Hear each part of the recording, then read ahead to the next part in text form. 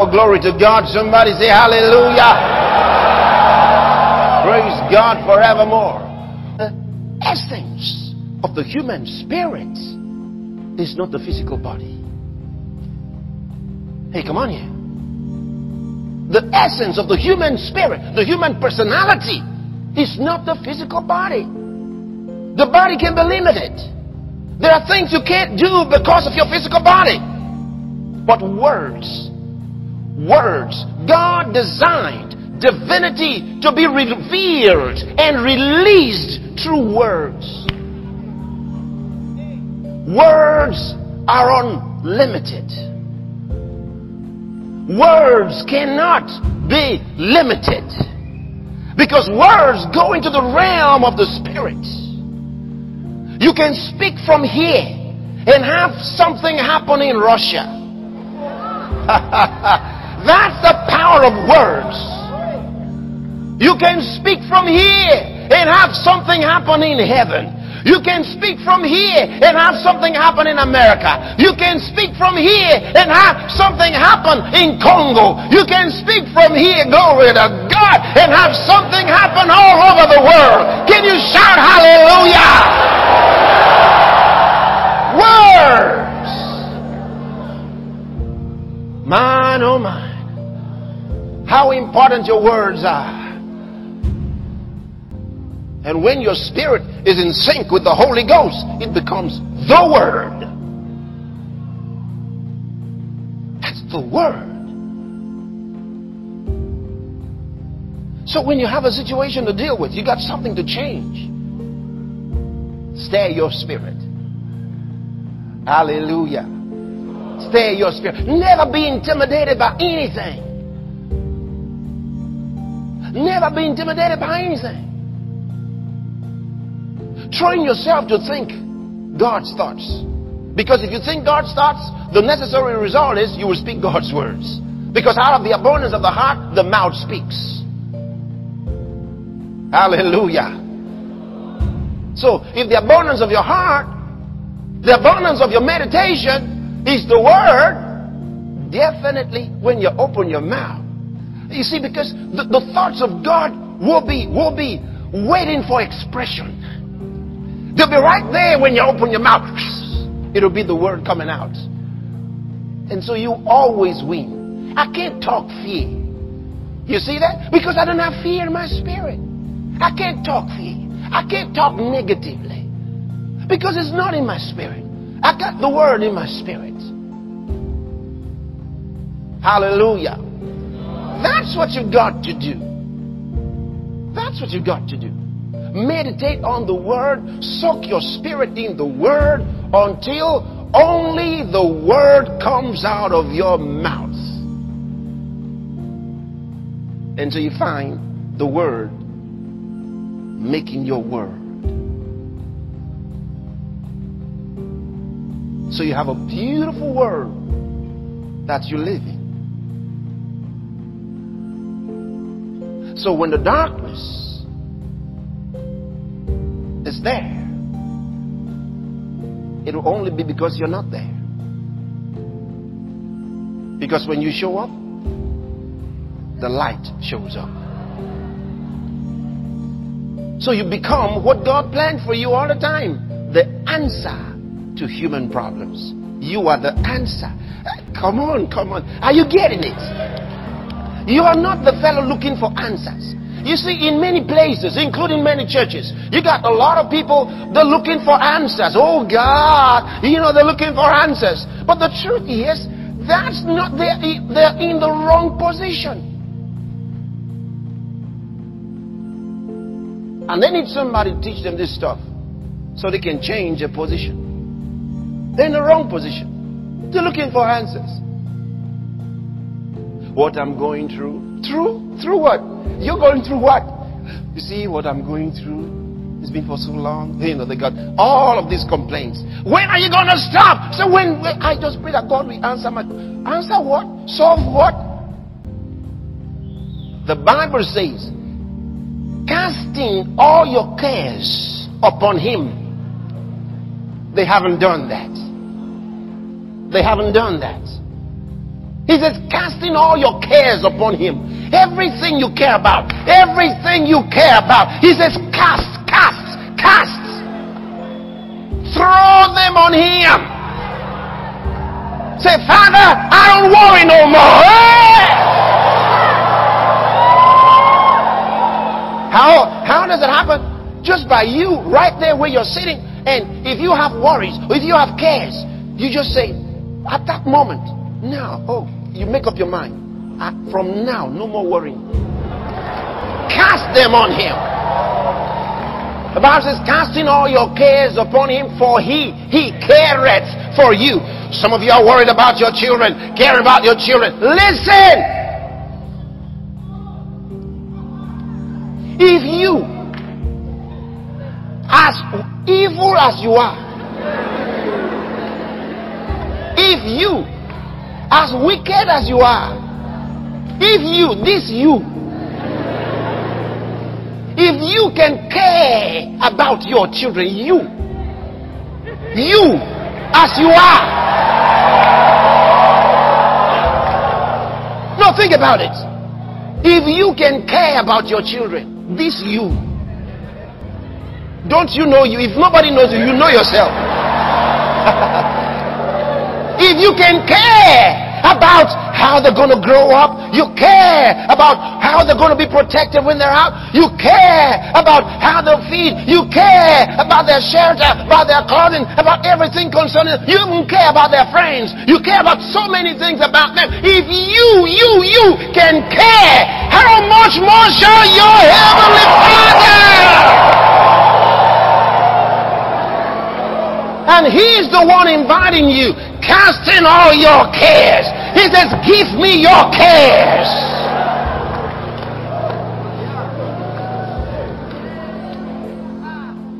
Casting all your cares upon Him for.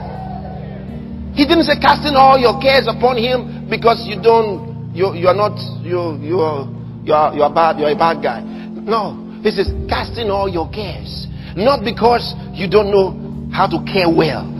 He says, casting all your cares upon him because he cares. He says, give me your cares. I'll take them. I'll take them. I'll fix them. But we can't be caring at the same time over the same thing. If you are going to be caring, God can't come in because your worries will stop the power of God from flowing your way. Refuse to care and confess the word. Father, I've given it up to you. You're in charge and you care. And the answers belong to me. Thank you, Lord. Solution is mine. The answer is mine. Because you care. Hallelujah. Because you care. Glory to God. Because you care. You have your son or your daughter away somewhere, and you know, oh God, don't know us. I'm oh God. Mm-mm. Father, thank you because you care. Glory to God. He's protected because you care. Hallelujah. She's protected because you care. Glory to God because you care. Hallelujah. Confess that God cares. That's what the word says. So voice the word. Is the word that is voice that works. Oh, did you hear what I just said? The Bible says, For with the heart man believes unto righteousness, but with the mouth confession is made unto salvation. So if you don't say it, it will not work, even though you think it. You see that? If you think it, God accepts you. He says, by your thinking, by your believing, you go right with God. But you will not get the answer until you say you're believing. Can you see that? Glory to God. I'm a wonder. I'm a wonder. Say it again, I'm a wonder. Hallelujah. You know, the Bible says, as the wind bloweth where it least, that you can't tell where it's coming from where it's going. It says, so is everyone that's born of the Spirit. The natural man can't understand him. Everything he does, but whatsoever he doeth shall prosper. Whatsoever he doeth. Uh, what, whatsoever. That's why anything I get involved in has to prosper because whatsoever he doeth shall prosper. That's me. Whatsoever he doeth That's me. Whatsoever. Hey, hey, hey, glory to God. Whatso, whatsoever. Whatsoever he doeth. If I get involved, it'll work. Because I'm a blessed man. Come on, brother. I'm a blessed man. Let me hear you, sister. I'm a blessed woman. Say it. Hallelujah. I'm blessed. You remember? The seed of Abraham.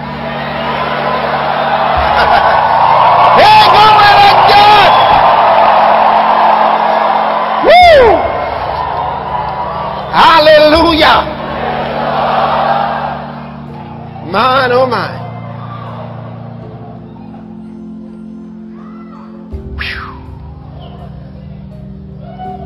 I'm blessed.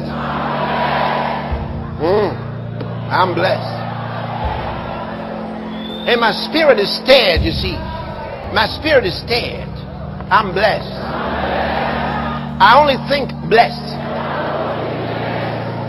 Blessed. Blessed. I refuse to fear. I refuse to worry. Blessed, blessed, blessed. Glory to God, blessed. Thank you, Lord, blessed. You, you say this. I, I'm so blessed. I got good things coming from everywhere. I'm so blessed. I got favor coming from everywhere.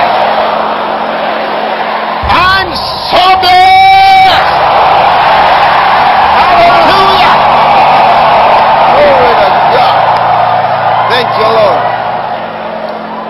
Now you see, we're in the house of God, right? Okay. At this time, you know what you're going to do? You're going to use what you have. You don't worry anymore. You say what you want. Do you hear that?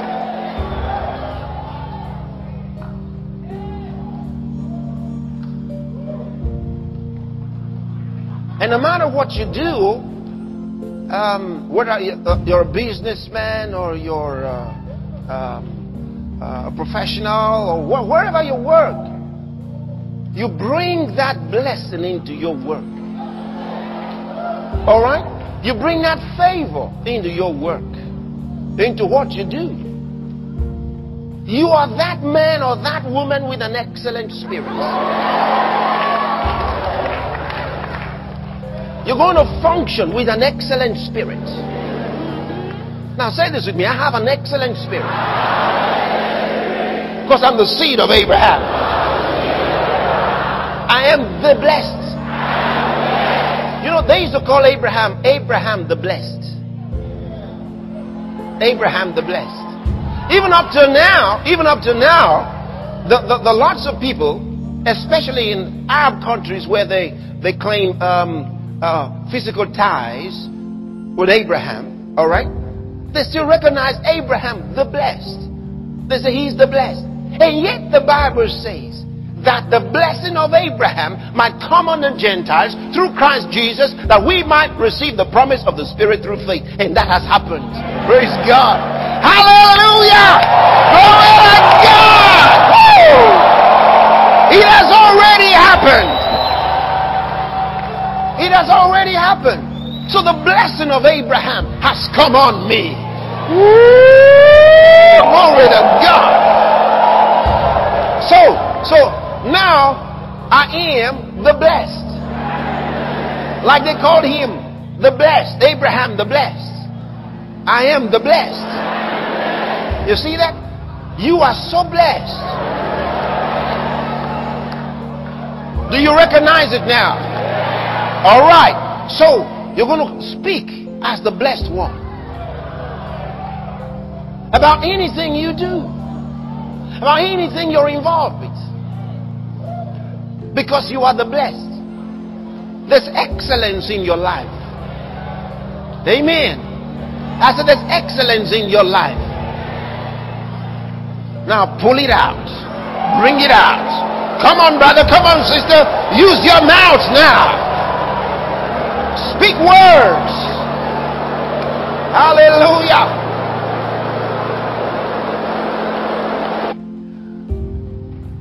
You worry not that the money is available, you worry that the money may not be available when you need it. Or you worry that it may not come. Or you worry that it is not there. And so they may be sent out of school. Which means worry has its fears. All right? Worry has its fears of its negative possibilities. We may be sent out of the house. We may lose the job. You don't worry that money is coming. You worry that it may not come. You worry that the pain you have may be more complicated than you realize. What if what if this is an incurable problem? What if, what if? So worry has its fears of negative uh, possibilities. And that's what God wants to stop us from. Because worry sets up a magnetic force that attracts those negative possibilities to us and makes them possible. The human soul, I want you to understand this, that's very important. The human soul, the human spirit, all right, the inward man has an ability. Remember that man was made, created in the image of God. He's like God. In other words, he functions like God. He looks like God. He functions like God. All right? The Bible says that God made man in his own image and in his own likeness. In other words, he looks like God and he functions like God. All right? Now, if God, if God wants something, he doesn't need to ask.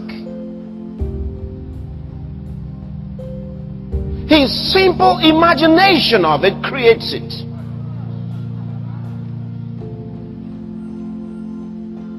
That's why we say your imaginative power is your creative ability. Worry helps you imagine the worst case scenario. Worry helps you imagine negative possibilities.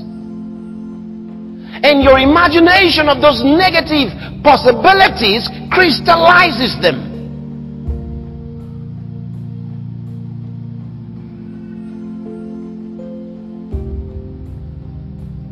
Worry helps make your fears possible. So God says, be anxious for nothing. Be worried about nothing. But in everything, by prayer and supplication with thanksgiving, let your request be made known unto God, and the peace of God that surpasses all understanding shall garrison your hearts and minds in Christ Jesus. Refuse to be worried. Repel worry. Repel it. You say, I refuse to worry. I refuse to worry. Now, when, when worry attacks you, don't think it's going to go away just if you change your mind. Because worry is a spirit. It's not going to go away just because you say, I changed my mind.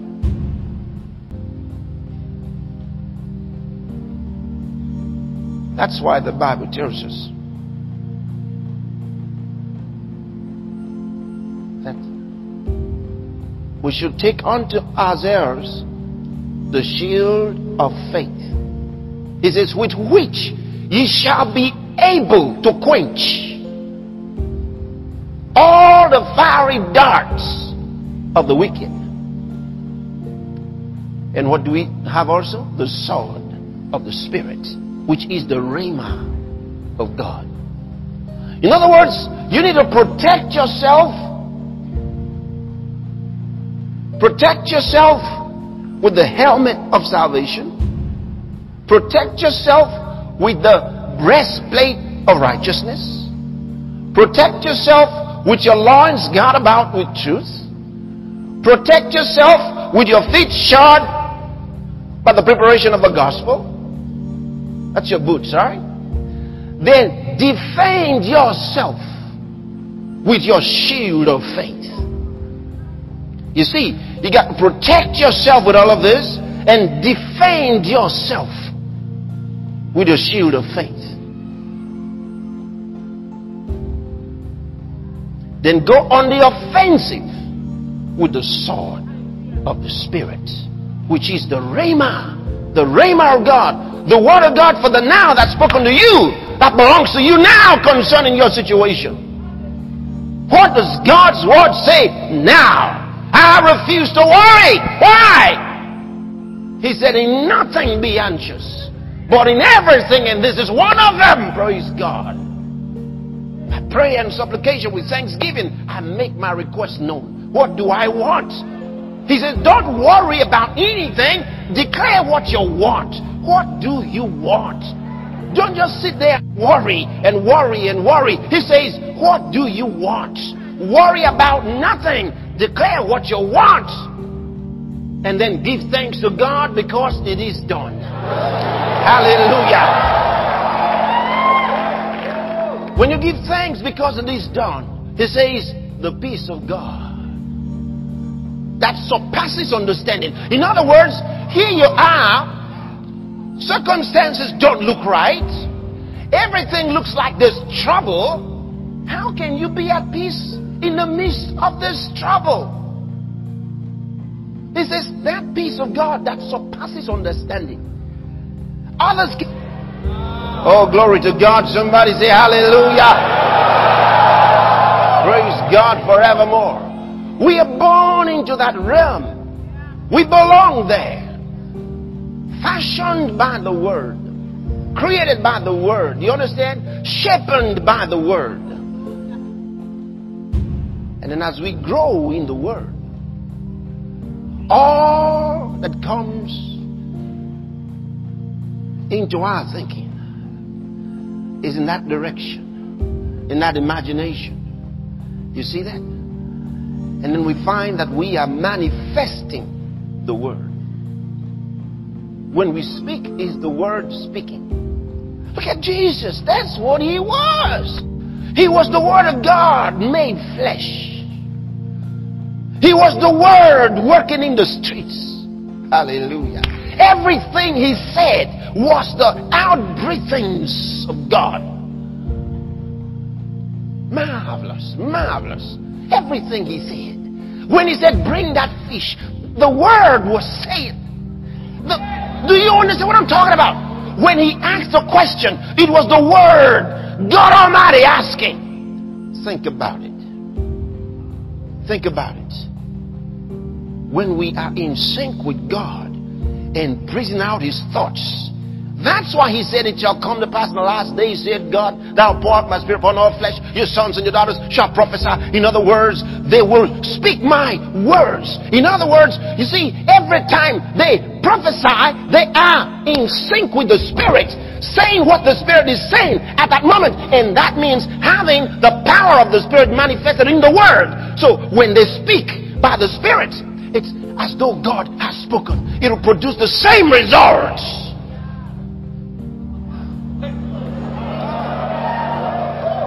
Are still there? So when you face a situation, what do you do? Are you listening? In the Old Testament, back in the Old Testament, when they when they faced a predicament or they found themselves in a precarious situation, they looked out for the prophet of God. And they said, Prophet of God, please help. What do we do? And then the prophet spoke. When the prophet said, Go, they went knowing that they had it made. Because the prophet brought to them what thus saith the Lord. God's word. Now, the prophet brought it. Now, Moses said, I would to God that all of God's people were prophets. he was prophesying God's thoughts. Hallelujah. Well, he said, when the Spirit comes, that'll be possible. And the Spirit came and has made that possible. So, when do you prophesy? Somebody said, when the prophecy is given. What is prophecy? So, Christos the high. He says, come up and think like me. That's what God's saying at the, this hour. Come up and think like me. Oh, glory to God. I like that. God says, come up and think like me. I like that. That's what I said in other tongues. Isn't that wonderful? Praise God forevermore. Now, now think about it. God, huh, hello? God is speaking every time. The human body is a limitation of divinity. Can I explain that very simply? Jesus was God. Jesus is God. When Jesus was tabernacled in human flesh, there were things he could not do because he was in the human body. For example, he couldn't continue every day, every hour without getting tired. He had to sleep. One time he was in the boat and fell asleep because he was tired. And another occasion, there was on a journey, and uh, when they got to the well, Jesus said, Hey, you guys, go on, I'm tired. And he sat down, and the disciples went on, and they tried to, they went out to get food for him. The Bible says he was wearied with his journey. He was tired. It was a long journey. Because he was encased in a physical body, a human body. That body had not been glorified. He couldn't be in two places at the same time because it was a human body. How Jesus wanted to be free of that body through the Holy Ghost.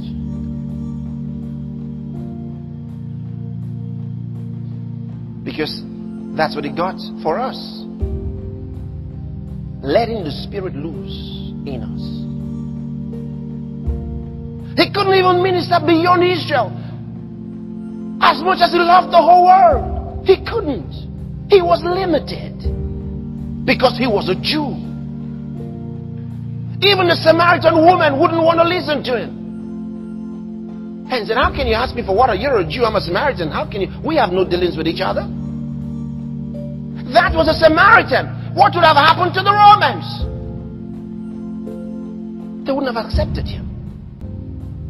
The limitation of the human body is the limitation of divinity in you. For example, I said Jesus was the Word. That's what the Bible says. The Word became flesh and dwelt among us. That's Jesus. But then when he was sleeping, was the Word sleeping? The only reason I had to go to sleep was what? Because the body was tired. The body needed rest. So what does that mean? That the essence of the human spirit is not the physical body.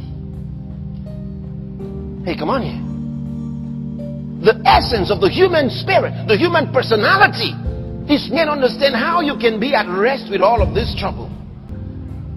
How you can be at rest with all of this trouble coming out against you, with all these challenges. How can you be at rest? He says, yet it is possible and it is happening because he calls it the peace of God that surpasses understanding. It beggars understanding. It dwarfs understanding. Is that peace of God shall guard your hearts. Guard your hearts. Hallelujah.